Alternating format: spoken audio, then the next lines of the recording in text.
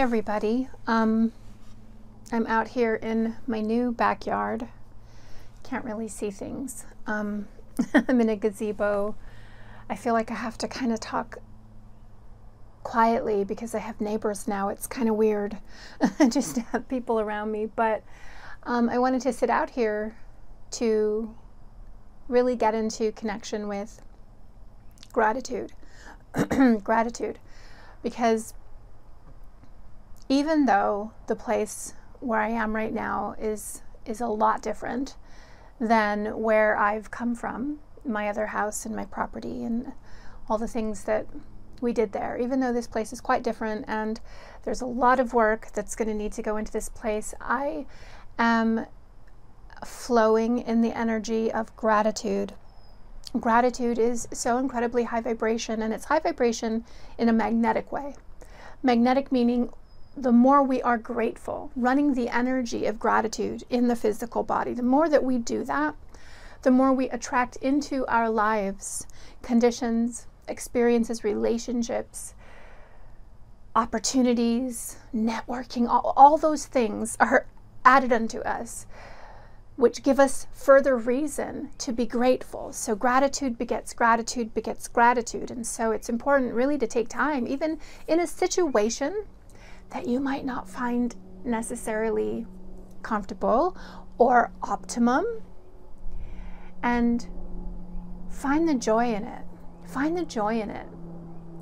See, in this phase of my life where I've moved to the city where we can hear a plane now and dogs barking and people talking, um, it would be easy for me to go one way with that and to think,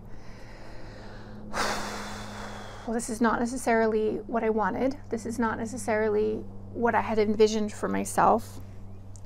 But instead, what I'm doing and declaring for you is I'm choosing to get really excited about it.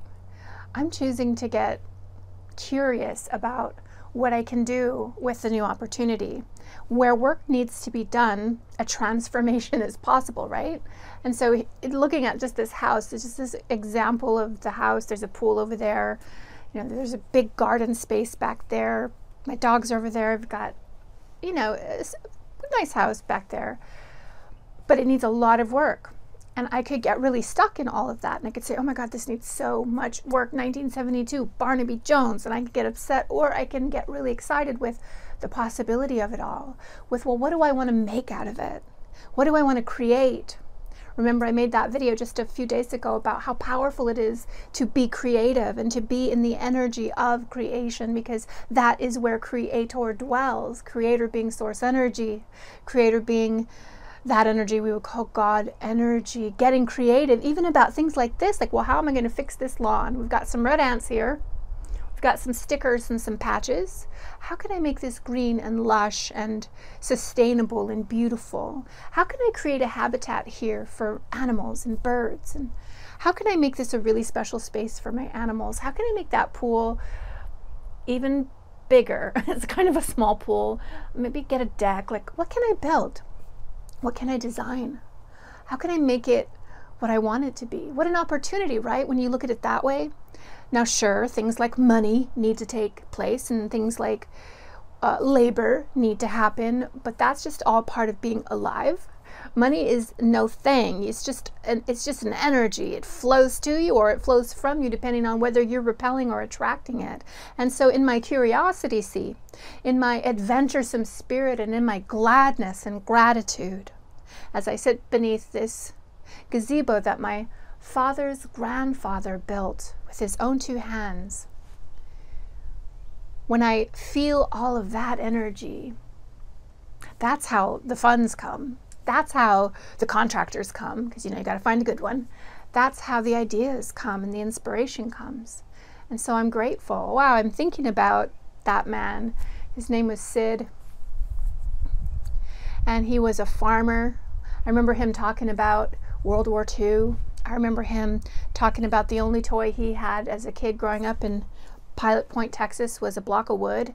And he'd play, play the heck out of that block of wood, just making it a car or he just made do. He, he had fun, he played. and what a hardworking person he was. And this was his property.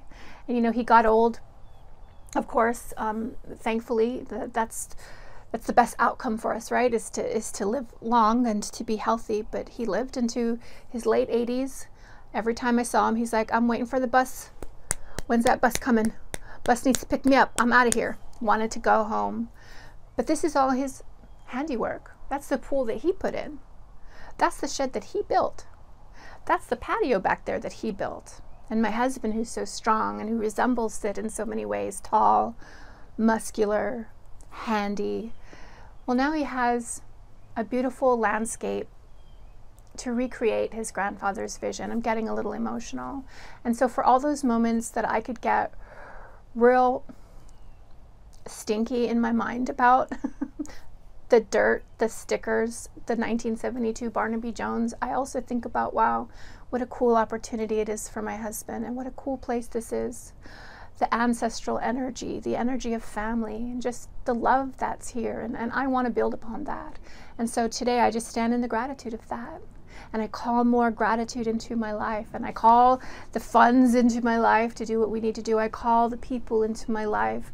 I'm thankful for this new town that I'm living in because I'm going to start doing things out here locally. I'm going to get out in these streets. You know I will. Start having groups. I'm going to start having events. I couldn't do that an hour and a half away in one truck stop Bumpkin Town, Texas. God bless it. It was a beautiful place. But like I couldn't do any of that.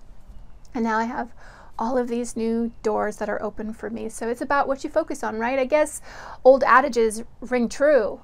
Is the half glass empty or is it half full? Well, my glass is all the way full. My cup runneth over. And today I'm grateful. So let me ask you, my friend, my subscriber, what are you grateful for? Even if it's really hard right now, and I get it.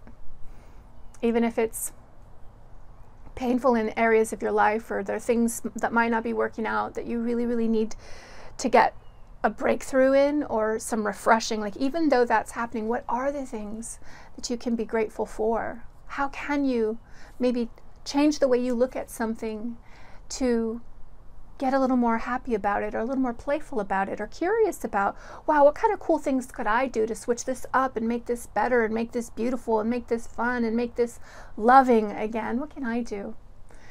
What are these areas that you can be grateful for? Just take a moment right now and focus on that. As I sit out here in this gazebo, this beautiful spring Texas morning, I just want spirit. I want spirit to come in and just fill us today. Give us the perspective of the divine that we are. Let us see life as it truly is, which is beautiful.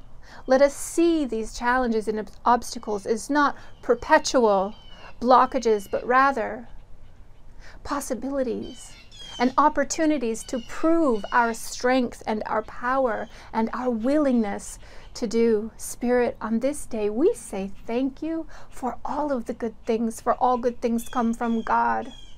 And God dwells within us, and the good things come from us. And so we, us need to spend more time being grateful, saying thank you, stopping and acknowledging those birds, the sunshine, this gazebo, the people in our lives, our health, our babies, our parents, those who have passed who we love. Thank you, God.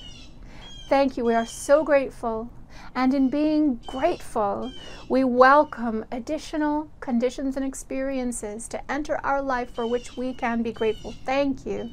We receive that. We receive that. Thank you, Spirit. Amen. I'm going to leave that with you on this day. My heart ball to your heart ball. They're linking up. I feel like we have a connection here. I'm loving it.